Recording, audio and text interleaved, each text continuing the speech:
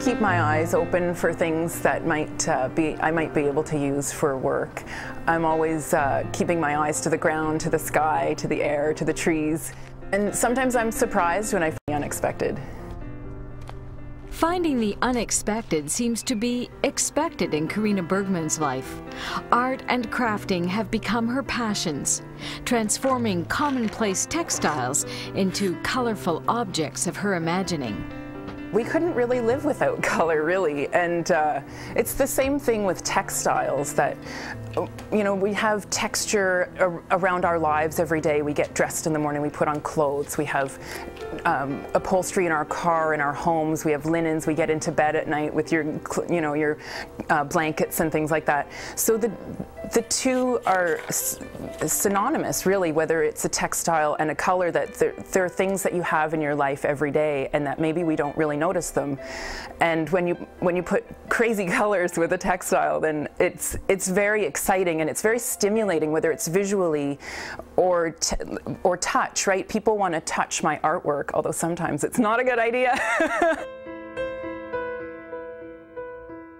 A lot of times what I use is uh, reclaimed materials or things that have had a life and now they're going to take on a new life from what I do with them. And I think that's really important actually in my work because sometimes I'll use clothing or people will give me, um, you know, pair of pants or carpet or you know all kinds of textiles um, and then I and then I change the the spirit of the material really by making it into something else and I think always the original um, the original energy from that material comes through and maybe that's what brings out a lot of the uh, the uniqueness in the work that it had a previous life and I'm changing that into something else that has its second life or third or fourth. Karina graduated from Carleton University with a degree in psychology. Perhaps it was her curiosity about human nature that inspired a few unexpected stops on the way to becoming an artist. I first started studying pottery and then I worked in a pottery studio and I worked for quite a few artists um, for a few years, um, part-time job, so I would jump from one job to the other. Um, I also worked for a ladies accessories designer for a number of years, which I think I really honed my craft making skills. Um, so coming from pottery and accessories, working with leather and uh, textiles, all that kinds of things, everything sort of has jumbled in together um, over the past probably about eight or 10 years or so, everything is built up to what I'm making now. In the exploration of color, which is a forceful muse for this nonconformist, Karina started playing with shapes, beginning with paintings and wall hangings, eventually taking it to the streets. It was challenging for me because I would normally be stuck to a small sized canvas, but putting them on a sidewalk or a street or during an art festival, it really expanded them and there's, there's no edge of the canvas when you do a street painting, so they just get bigger and bigger. And around that time, I had also started um, constructing them into sculptures. So I was changing the medium of the of the theme, I guess, but um, but keeping the same color and excitement and movement in them. Those pieces are a real exploration in color, and uh, and that st has stuck with me as I've moved into fiber and crafting textiles. I think a lot of it comes from um, wanting to maybe put things out in public that people don't really see a lot. And I think it also comes to some of the work that I do is performance based, something like the cake show that I worked on.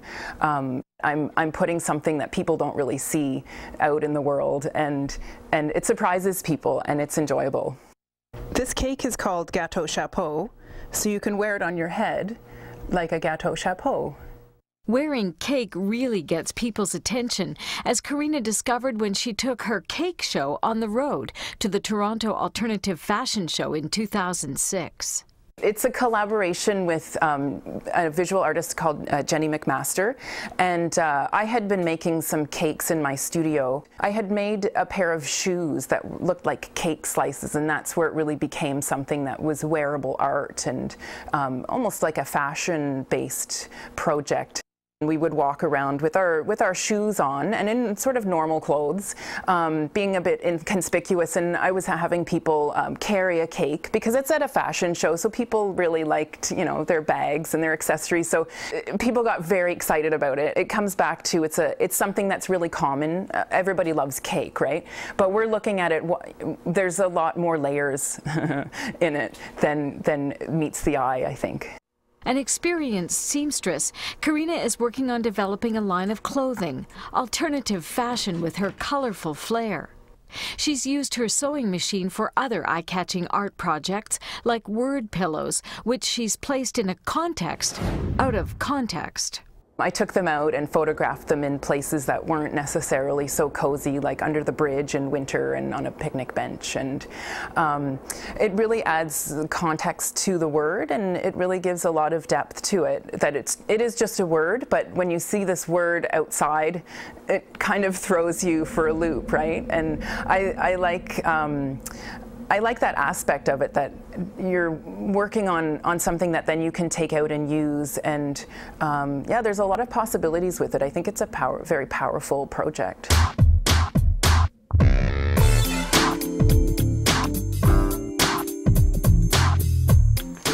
Expect the unexpected when it comes to commission work for this artist. Karina is painting a floor for a client who shares her fondness for color she has a couch upholstered in some pretty special fabric, and it has a lot of colors, and it it's actually um, so it's kind of funny. It's a textile, which is the fabric, but it looks like a painting. It looks like splatter painting, kind of um, all kinds of texture in the painting. So I'm transferring the texture of the fabric into the floor. Um, it's going to look fantastic. Remember the unexpected found mitten? Well, it's in good company now with the hundreds of lost mittens Karina has picked up in her travels. The goal of the project was always to reunite someone with a lost mitten, although that hasn't yet happened, but I have hope that it might. I had amassed quite a number of them because I collected them from uh, the transit systems in Ottawa and Montreal and Toronto, so I had this quite a collection. And I just thought, you know, what am I going to do with all these uh, material, really, it came down to.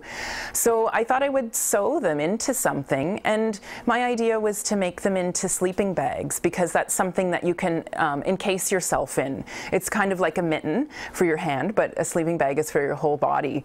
So, and I wanted to, in that, I wanted to test whether the loss of these mittens could keep me warm. So by putting them all together, all these useless mittens, because they're just one-ofs, together, whether that can keep you warm. And I took it, take them out on uh, camping trips with my partner, and they do indeed uh, keep you very, very warm, almost too warm. And they're not at all practical because they're very big. I've made carry packs for them, um, like a proper knapsack, and we took them on the canoe and all this. So um, they're not at all practical, but they're beautiful sleeping bags. And I've made uh, two adult size ones and two ch child size ones with children's mittens.